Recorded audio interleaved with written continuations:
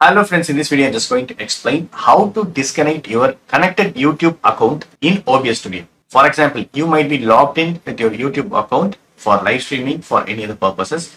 You might have used your YouTube account in OBS Studio. So that's what I'm going to disconnect from OBS.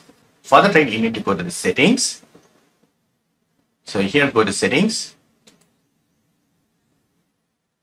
And here go to stream.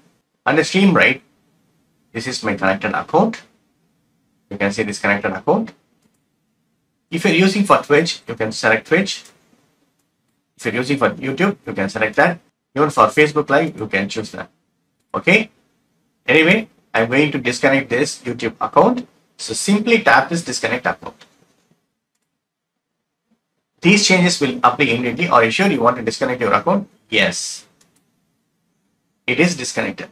Then click on apply. You okay? That's it, friends. This is the way you can disconnect your YouTube account from OBS Studio. That's it. Hope this video is very much helpful. Thank you so much for watching. Please put a comments and feedbacks in my forms. Thank you. Bye, friends. Take care.